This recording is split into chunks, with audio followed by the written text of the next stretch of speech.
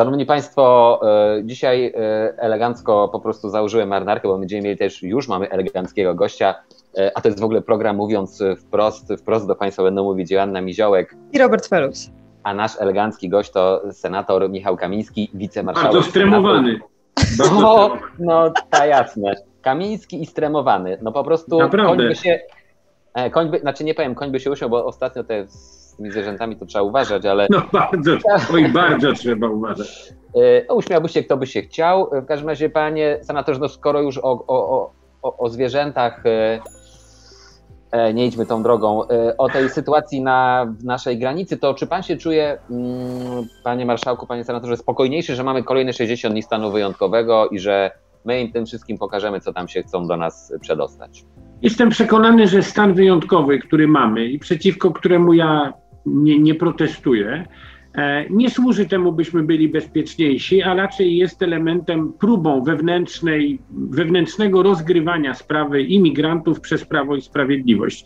Dobrze, że duża część opozycji, że większość opozycji nie włącza się w tę grę e, i nie pozwala Prawu i Sprawiedliwości przeprowadzić takiego prostego, prostego, by nie powiedzieć chamskiego e, zabiegu PR-owskiego, który ma polegać na tym, że jest to rząd, który chroni polskie granice i jakaś banda świrów na opozycji, która nie wiadomo dlaczego chciałaby te granice pootwierać, wpuścić tu parę milionów imigrantów, najlepiej wszystkich muzułmanów i tak dalej. No, to jest retoryka, która pomogła PiSowi w roku 15, w związku z tym PiS chce do niej wracać.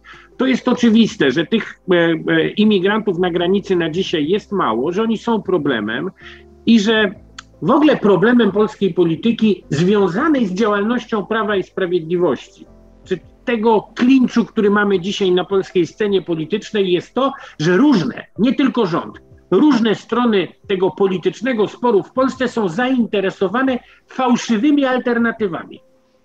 Myślę, że ktoś, kto w Polsce rozbroi te fałszywe alternatywy, wygra. Bo jakie to są fałszywe alternatywy? Albo jestem dobrym Polakiem, albo jestem proeuropejski. Przecież to jest kompletnie idiotyczna alternatywa. Można być bardzo dobrym polskim patriotą, pielęgnować narodowe tradycje, być człowiekiem absolutnie na wskroś przepojonym polskością, wiarą także katolicką, jeżeli ktoś ją ma, a jednocześnie być dobrym czempionem europejskiej integracji, kiedy trzeba bić się o swoje w Europie, a kiedy trzeba tę Europę jeszcze mocniej integrować. A więc alternatywa, że można być albo patriotą, albo Europejczykiem, w Polsce jest fałszywa. W Polsce jest również fałszywa alternatywa, chcemy chronić granice, albo będziemy je otwierać. Trochę też związana z tą poprzednią. Przecież to jest nieprawda. Europa, właśnie Europa pokazuje, można być twardym na granicy, twardym wobec zjawiska, i tu bez wątpienia trzeba być twardym. Nie wolno odpuszczać tego problemu na europejskich granicach, przecież nie tylko polskiej, ale z drugiej strony no, trzeba być człowiekiem wobec innych ludzi, bo na końcu jesteśmy tylko ludźmi, a nie senatorami, posłami, ministrami.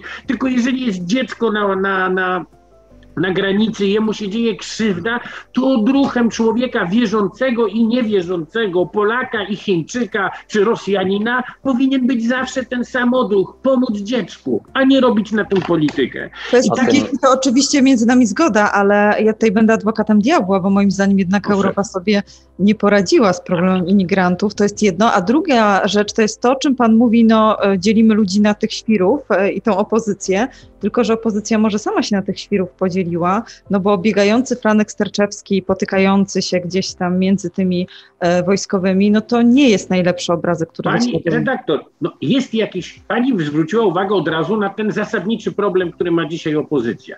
Jak to jest, że od grudnia zeszłego roku notowania Prawa i Sprawiedliwości spadały i pani redaktor o tym Widziała to choćby w swoich rozmowach z politykami PiSu. Na pewno pani to widziała i pan redaktor podobnie, że oni przestali być tak pewni siebie i swojego sukcesu wyborczego, jak byli pewni jeszcze parę miesięcy wcześniej. Widać, widać było taką narastającą nerwowość, niepokój, że coś jest nie tak z sondażami.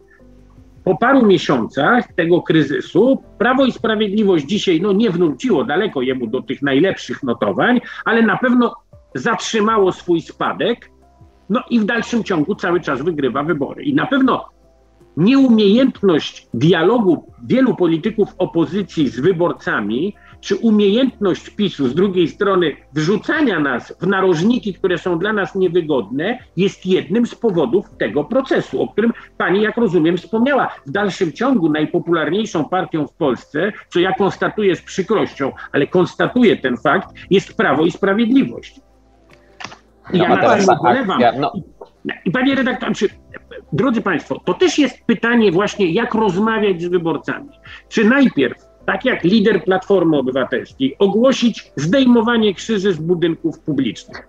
Przecież to jest pomysł na to i później jest zdziwienie i zarzucanie Nitrasowi czy Tomaszowi Grodzkiemu, że to z ich powodów notowania Platformy nie drgnęły. No to to jest zapominanie o tym, że 6 sierpnia Donald Tusk zaproponował Polakom wojnę domową, jakiej jeszcze nie mieli bo próba zdejmowania krzyży z salek szkolnych, posiedzeń rad gmin, rad powiatu i tak dalej, to jest po prostu rozciągnięcie wojny domowej na całą Polskę, jak długa i szeroka. I co więcej, zwolnienie polskich biskupów z obowiązku tłumaczenia się za to, za co się mają biskupi w Polsce tłumaczyć. Za swoje przestępstwa seksualne, za swoje włażenie z butami do ludzkiego życia i właszenie z łapami i butami do naszej polityki, bo wtedy wobec takiego tematu, który postawił Donald Tusk, polscy biskupi nie będą musieli na nic odpowiadać, będą po prostu mówili, że bronią krzyża przed jakimiś ludźmi, którzy chcą tego krzyża mm, im zabrać. Ale zaraz, zaraz, Donald Tusk zrobił jednak znak krzyża na chlebie później, więc więc... Y, ale pani redaktor, no, ale to niech pani się nie dziwi,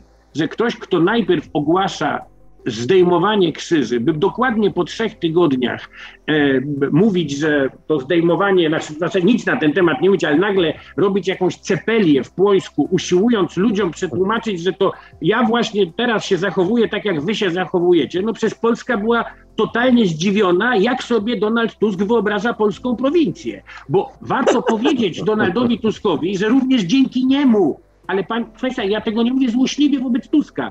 To również dzięki temu, że Donald Tusk był 8 lat dobrym premierem, polska prowincja się zmieniła.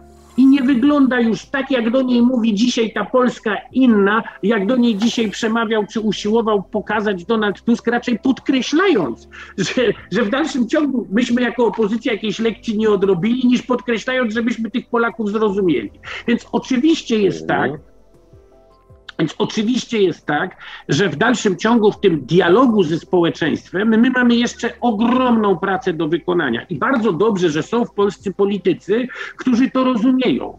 Ja na ostatnich igrzyskach w Łodzi, Igrzyskach Wolności w Łodzi, miałem okazję jednego dnia słuchać Szymona Hołowni i Rafała Trzaskowskiego. I muszę Państwu powiedzieć, że tych dwóch polityków potrafiło rozmawiać ze swoimi e, mm, interlokutorami. I dzisiaj to jest ważna umiejętność, potrafić rozmawiać z Polakiem, niczego nie, udawa, nie, niczego nie udając.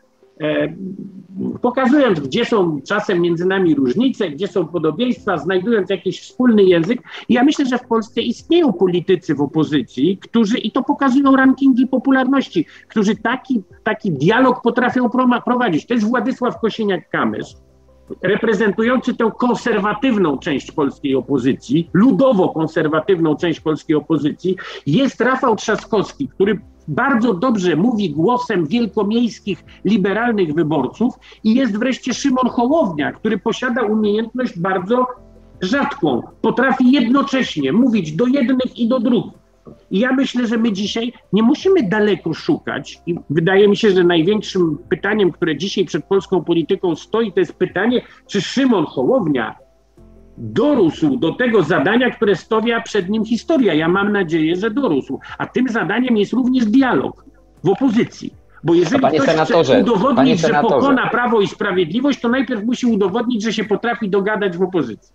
No to e, był, był taki moment dla Szymona Hołowni trudny, kiedy wrócił Tusk i Szymon Hołownia fajnie sobie szedł, szedł w górę i nagle sobie e, z dużym chrzęstem spadł, bo wrócił Tusk. Ale teraz jak tak sobie o tym rozmawiamy, o tym co pan powiedział, o tym co my wszyscy śledzimy, to ten efekt Tuska, jak się okazuje, to chyba nie jest dobry dla, plat, dla Platformy, tylko tak naprawdę jest dla PiSu w pewien sposób dobry, bo... No, no, no to już pana no, diagnoza. Panie redaktorze, ale ja chcę no, powiedzieć tak... A co pan senator na tę tak, diagnozę? Po, tej, po tym tsunami, nazwijmy to, które miało być tsunami, Hołowni spadło. Ale no nie tak. spadło do zera, nie spadło do pięciu, nie spadło do dziesięciu nawet. Hołownia w tym takim największym sondażu, w którym Platforma miała 24, Hołownia miał 15. Panie redaktorze, to też to spójrzmy na notowania.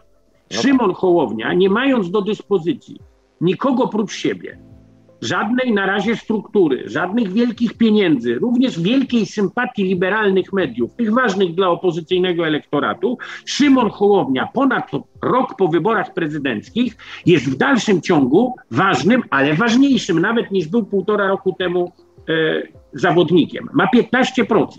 Natomiast Platforma Obywatelska po trzech miesiącach od powrotu Donalda Tuska do polityki ma dzisiaj wynik na poziomie 23-24%, czyli najniższego swojego rezultatu konkretnego w wyborach z 2015 roku. I to oczywiście rodzi pytanie, to nie jest pytanie skierowane przeciwko Donaldowi Tuskowi w żadnym wypadku, bo dzisiaj ktokolwiek będzie proponował, by można było budować opozycję bez Donalda Tuska, będzie robił błąd bo tej opozycji bez Tuska, bez Platformy Obywatelskiej trudno sobie wyobrazić. Ważne jest jednak, żeby zarówno Tusk, jak i Platforma zrozumieli, że są w trochę innym miejscu niż byli w roku 15 czy wcześniej. Nie są już dzisiaj hegemonem. Dzisiaj polska polityka potrzebuje na to samo, co zrobił Donald Tusk z Bronisławem Geremkiem w 2000 roku potrzebuje nowego przywódcy. Ja myślę, że ten nowy przywódca polskiej opozycji już dzisiaj to nie Donald. Jest. Przepraszam? To nie Donald. No, wie pani co, widać wyraźnie, że Donald Tusk wrócił nie po to, by zostać liderem opozycji, tylko po to, by uratować Platformę Obywatelską. I myślę, że dzisiaj po trzech miesiącach bylibyśmy nieuczciwi wobec Tuska, gdybyśmy stawiali mu zarzut, że nie zjednoczył opozycji, nie zbudował bloku na zwycięstwo z PiSem, bo najwyraźniej nie to było jego zadaniem i bardzo dobrze. Zadaniem Donalda Tuska było zorganizować, przywrócić do życia Platformę Obywatelską. I jak, jak widzimy, gdzie Tusk tak w ciągu ostatnich trzech miesięcy nie wykazał ambicji budowania czegoś szerszego wokół Platformy, to uczynił to przecież świadomie. Wiedząc, że zadanie, które musi wykonać, polega na zorganizowaniu platformy, bez której, powtarzam, nie, nie można sobie wyobrazić zwycięstwa nad prawem i sprawiedliwością, ale Potrzebujemy dzisiaj człowieka, który będzie w stanie zorganizować opozycję do wyborów, zorganizować przekaz do wyborców i organizacyjnie sojusz różnych sił politycznych, którzy muszą pokonać razem, podkreślam, Prawo i Sprawiedliwość. Bo ja dzisiaj mogę siedzieć w Senacie jako wicemarszałek tej Izby tylko i wyłącznie dzięki temu, że zjednoczyliśmy się w wyborach do Senatu, że poszliśmy razem od lewicy po PSL-u innej drogi naprawdę na pokonanie Prawa i Sprawiedliwości niż maksymalna współpraca opozycji nie ma.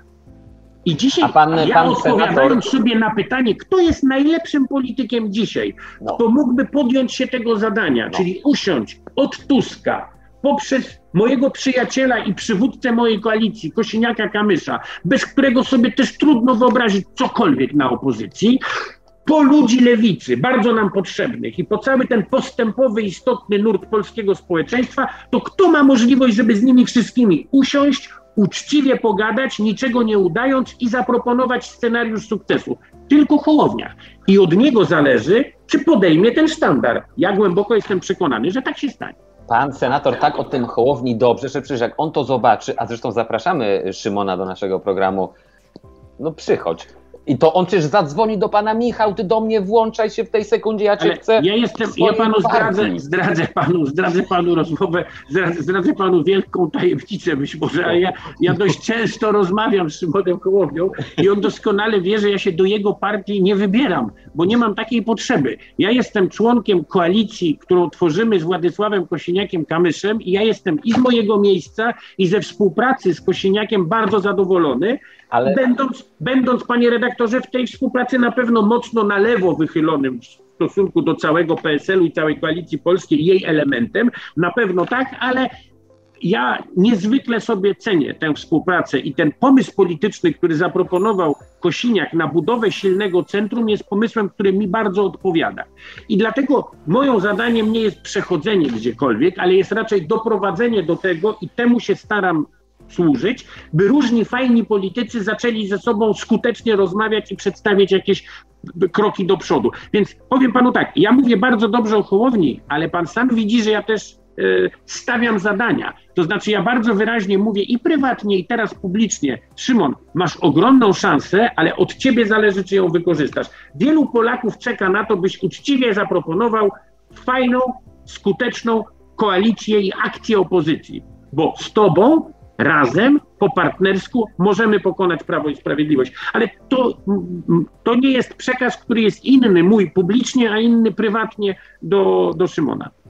Może ja podpytam jeszcze o tego Tuska, bo pojawiła się taka plotka, że Donald Tusk teraz odegra swoją rolę, a później za rok się wycofa. No to trochę by się zgadzało z tym, co y, pan marszałek mówi, że można by to zrobić w ten sposób, y, że po prostu on połączy tą y, opozycję i zostawi i on nie będzie liderem później. Czy to jest w ogóle możliwy scenariusz? Nie, tak to zobaczymy. Ja myślę, że ale problem polega na tym, że trzeba z żywymi naprzód iść po życie, sięgać nowe, a nie w uwiądłych laurów liść z uporem stroić głowę. To Adam Donald Tusk jeszcze żyje.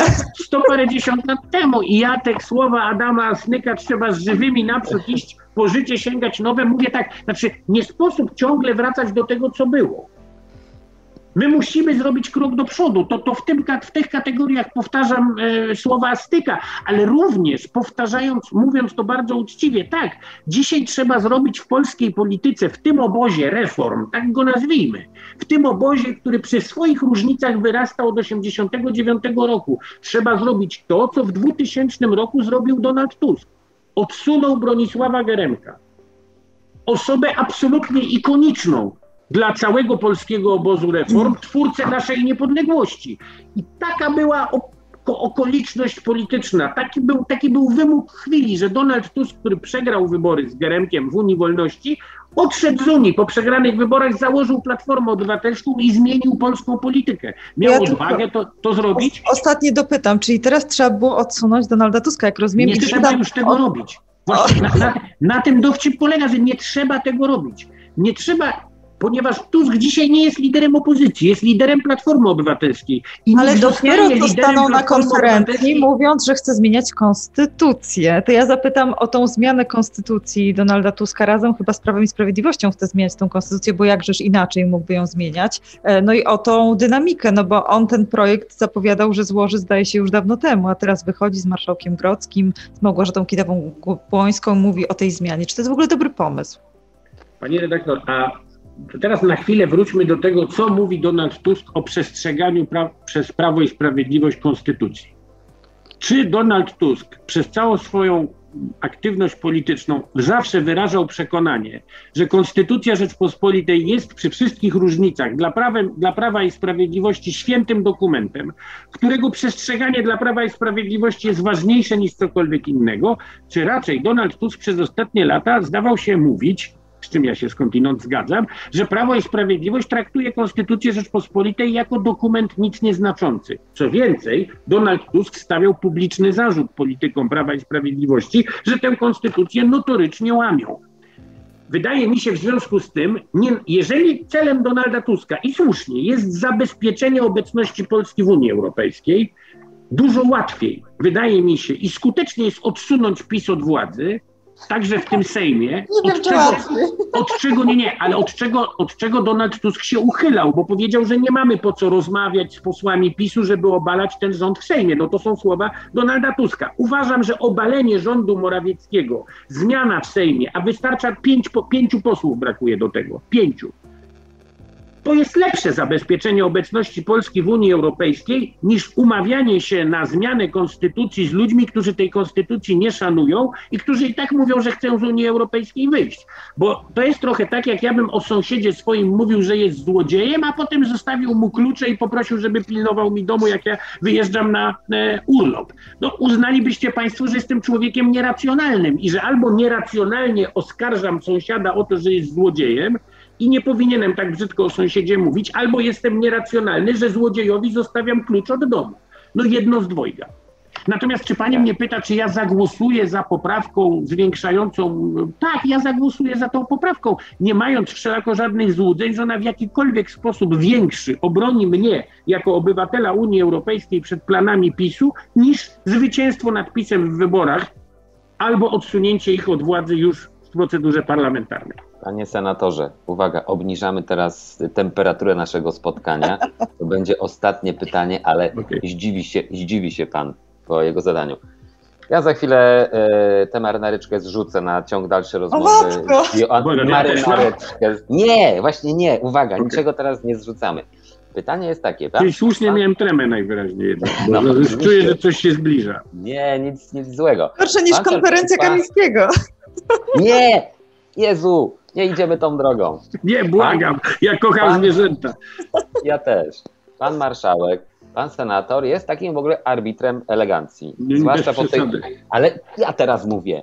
Tak? Pan, ja panu nie przerywałem. E, słynie pan z tego, zwłaszcza po tych takich przemianach też fizycznych, kiedy pan no, zrzucił parę kilo i, i no, to był taki dość charakterystyczny moment. E, no pan siłą rzeczy musiał outfit zmienić, tak? no bo tamten był sześć razy za duży. Ubiera się pan bardzo elegancko, więc jako do arbitra elegancji, elegancji zwracam się z pytaniem, co panom w naszym wieku e, by pan proponował takiego modowego na sezon, o jak się Janna zdziwiła, sezon jesień, zima 21-22. Co zakładamy? Panie? Wie pan co, mnie ostatnio się bardzo podobają, powiem panu bardzo szczerze, zupełnie nieeleganckie i zupełnie nie. Jeżeli pan mnie pyta o to, co mi się podoba na jesieni dochodzenia, to podobają mi się koszule. Po prostu fajne flanelowe koszule, pod, pod które można sobie wrzucić e, t-shirt e, i, i tak po prostu iść na miasto na przykład, jeżeli jeszcze pogoda na to pozwala. Tak to z, z, jakby jeśli chodzi o mnie o takie na co dzień e, chodzenie. Miałem etap chodzenia w różnych bluzach i on powoli przechodzi, bo wróciłem do koszul, jeżeli już pana to interesuje, ale czysto w taki, tym, takim e, rytmie casual bardziej tak, niż, tak, niż, tak. niż inny. Piątek, e, piątunio. No, dziś jest piątunia, ale ja specjalnie dla Państwa e, wbiłem się w krawat. Ja czułem, że tak będzie, dlatego też wziąłem marynarkę tu z reguły raczej tak koszulowo ale bez sensie dzisiaj marszałek na pewno coś tam zarzuci takiego e, Nie no, bez, bez, no. bez przesady. Bez przesady, oczywiście. Panie senatorze, bardzo dziękujemy za ja rozmowę. dziękuję również. Życzymy dużo zdrowia i do zobaczenia. I ja zaraz tę marynareczkę pyk i ciągniemy dalej ja nasz... Też. Ja, ja też. też. I będziemy dziękuję dalej bardzo. sobie z Janną rozmawiać. Wszystkiego dobrego. Dziękuję. Wszystkiego dobrego. Do widzenia. To tyle nasz gość, e, marszałek e, Michał Kamiński, a teraz my sobie tu już e, w najlepszej parze publicystyki na polskim rynku dziennikarskim porozmawiamy. No co się śmiejesz, no przecież dobrze powiedziałem. Joanno, zatem zdziwienie tygodnia. Zdziwienie krową albo koniem. Nie wiem czym, bo już nie wiem, co było już, już tylko można by było odgłos paszczą jeszcze do tego dodać i byśmy zakończyli tę część, ale jednak powiedzmy trochę o tym. E, tak, e, to znaczy generalnie otoczenie premiera Mateusza Morawieckiego w ogóle oddało tą całą kwestię wizerunkową w sprawie granicy polsko-białoruskiej właśnie MSWiA. Oni mówią, że oni się nie dotykają do tych konferencji, patrzyli też z takim przymrużeniem oka na to, co oni tam wyprawiali, ale nie chcą w to wchodzić, dlatego że to jest naprawdę temat ciężki. Ciężki ze względu na to, że no, jest coraz zimniej, będzie coraz zimniej, coraz więcej ludzi będzie pewnie na tej granicy umierać. E, no i oni wolą to wszystko złożyć w ręce e, Mariusza Kamińskiego, który no, robi, jak widzimy, cyrki na tych konferencjach.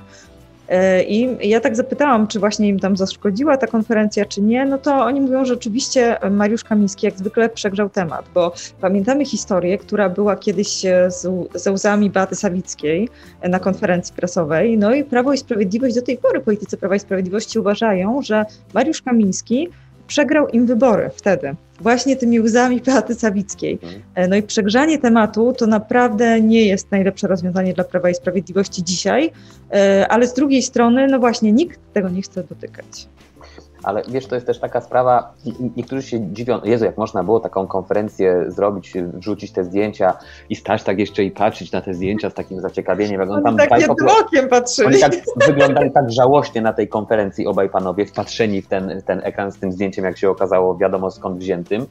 E, I, I, dobrze, i no, my się dziwimy, jak coś takiego można było e, przygotować, ale pamiętajmy, to nie jest do nas przekaz, to jest przekaz do odbiorcy masowego pod tytułem uwaga, źli ludzie, a niektórzy zoofile. zwichrowani zoofile atakują nasz kraj. Musimy się obronić, musimy przedłużyć stan wyjątkowy, musimy ich wyłapać wszystkich. Nawet te matki, co z dziećmi, co im się udało przeżyć, musimy wykopać za granicę bo widzicie, kto do nas przychodzi. I jakaś część publiki łyknie tą yy, przekaz tej konferencji i zostanie cel osiągnięty. Brzydki, zły, fatalną drogą, jakąś chorą w ogóle drogą osiągnięty, ale osiągnięty. No ale pytanie, czy już nie wystarczyły te y, okropne zdjęcia, które wskazywały właśnie na ten terroryzm, tak, y, z tymi prawie że poobcinanymi głowami, y, które występowały już na tej konferencji, trzeba było jeszcze dołączyć do tego jakieś zwierzę w takim E, w no, takiej no, formie. Znaczy, no o, po, powiedzenie o tych y, ludziach, że to, co zrobili, to jest ze zwierzęcenie, to jest po prostu. Y, znaczy, nie można tak powiedzieć, bo to szkoda zwierząt. Zwierzęta takie nie są.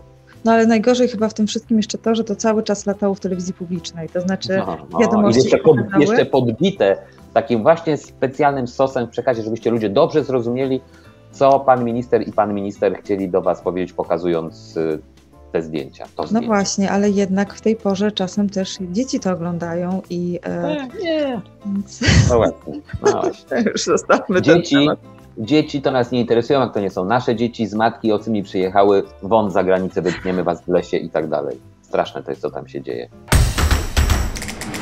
W objaśniaczu Marian Banaś, Marian Banaś, mhm. który postanowił, mówiąc kolokwialnie, dojechać rząd, jak się okazuje, dojechać rząd, dlatego że e, przedstawia kolejne raporty, teraz raporty dotyczące właśnie Funduszu Sprawiedliwości.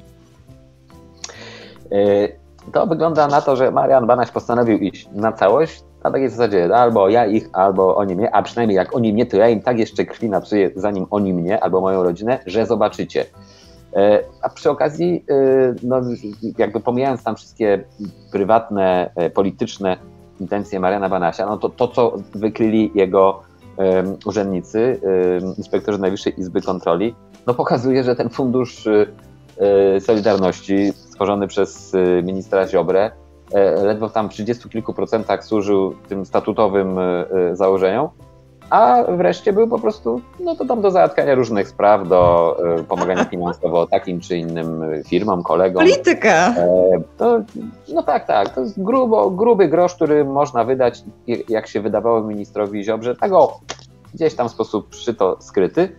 No bo kto, kto miałby kontrolować y, to, co wydaje minister Ziobro? No minister Ziobro, no więc on tam wszystko fajnie wykontrolował. Najgorsze w tym wszystkim jest to, moim zdaniem, że po tej miażdżącej dla Ziobry konferencji, temu Ziobrze włos z głowy nie spadnie, przynajmniej na razie, dopóki na przykład prezes Kaczyński nie powie, a teraz mu spadnie. No na razie chyba mu nie spadnie, więc tam będzie trochę Mariana wołanie na puszczy, e, no ale trochę rzucił tam granat w kierunku ministra Ziobry.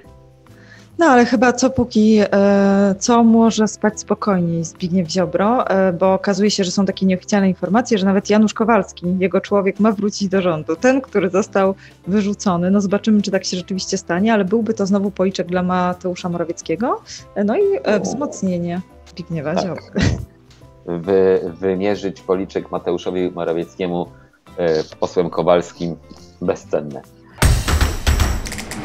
W checkliście oczywiście rekonstrukcja, bo rekonstrukcja była rok temu. 6 października dokonał się e, taki podział, a tak naprawdę połączenie pewnych resortów, pewnych działów. No a dzisiaj okazuje się, że po tym jak te działy zostały połączone na przykład Ministerstwo Sportu trafiło pod ministra Glińskiego, tak teraz znowu ma być podzielenie, więc bawimy się tak tą polityką resortową w naszym kraju, e, no ale to też przy okazji jest bardzo dużo takich fajnych kuluarowych rzeczy, bo tam podobno są pielgrzymki teraz do e, Jarosława Kaczyńskiego, podobno Marcin Ociepa i gdzieś tam ludzie z nim zostali nazwani w rządzie takim związkiem zawodowym podsekretarzy stanu, bo oni lobbują za tym, żeby mieć jak najwięcej tych stanowisk. No i ta rekonstrukcja się bardzo bardzo przedłuża, bo przecież ona miała się dokonać jeszcze we wrześniu, pod koniec tak. września, a teraz się okazuje, że nie, bo każdy ciągnie za tą, mam wrażenie, kołdrę. Ta kołdra jest krótka. Jarosław Kaczyński już się wkurza, bo dlaczego on ma rozmawiać z jakimś tam Marcinem Ociepą? No, potrzebuje prawdziwych partnerów do rozmowy. A skoro powiedziałaś o sporcie, y, to przy okazji, jak ten sport zostanie odcięty od kultury, to wygląda z tego na to, że premier Gliński już nie będzie musiał chodzić na mecze. E, nie wiem, czy udawać, czy, bo on podobno się w ogóle zna i lubi sport, ale e, no, wcześniej jakoś chyba nie było tak, że on bywał na imprezach sportowych, jak był tylko ministrem kultury. Potem zaczął bywać, jak był ministrem też i sportu. No to teraz może dalej sportowe emocje, myślę, że na spokojnie przed telewizorem sobie przeżywać. Natomiast co do prezesa Kaczyńskiego i pielgrzymek, może go i one męczą, ale jednocześnie tyle, ile wiedzy operacyjnej, takich, takiej insiderskiej prezes podczas tych rozmów zdobędzie, to naprawdę jego archiwum puchnie. Bo przecież wiecie, że tam każdy przychodził i tak, panie prezesie, a ten, to jest, a wie pan, co, co ten o panu powiedział? No co powiedział? I tam sobie Jarosław, dobra, ten powiedział mnie to i pyk do swojej tam szafki, do swoich fiszek. Tam jest wszystko u prezesa. Tam jest taka szafa, naprawdę, tam jest tak, taka szafa. Ale żebyście wiedzieli, tam jest taka szafa i tam na każdego jest coś. No, no, no. Oho, kochany. No, no, no. I tak. Także na pewno się prezes, może go i to męczy, ale też odpowiednią swoją wiedzę e, wywiadowczą zbiera. Y, to my się zbieramy y, tymczasem z Waszych komputerów, z Waszych komórek, gdzie tam nas oglądacie. Życzymy Wam dobrego, spokojnego weekendu. Nie zapominajcie o internecie. Na wprost.pl proszę zajrzeć, jest tam kolejny numer naszego, nasze, kolejne wydanie naszego cyfrowego tygodnika, tym razem o mowie nienawiści. No, co zrobić? Takie mamy czasy, że tej mowy nienawiści brakuje wśród polityków, o, wśród naszych komentatorów, których serdecznie pozdrawiamy na YouTubie. Jesteśmy z Wami, jesteśmy dla Was. Bez nas byście nie mogli tego jadu swojego e, ulewać. Ulewajcie ile chcecie. Dużo zdrowia Wam życzymy, wszystkim życzymy dużo zdrowia. Mm, I co? I zapraszamy e, za tydzień. To był program Mówiąc Wprost, a wprost do Państwa mówili Joanna Miziołek i Robert Felus. Dziękujemy bardzo. Dziękujemy.